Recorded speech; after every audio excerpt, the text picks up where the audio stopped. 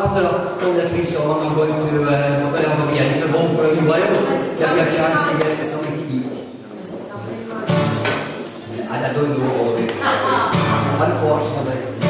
This one, uh, you maybe not know, but it's, uh, it was recorded by Barbara Dickson Anthony Fisher, and then it was later recorded by Lindisfarne. It's called Together Forever. You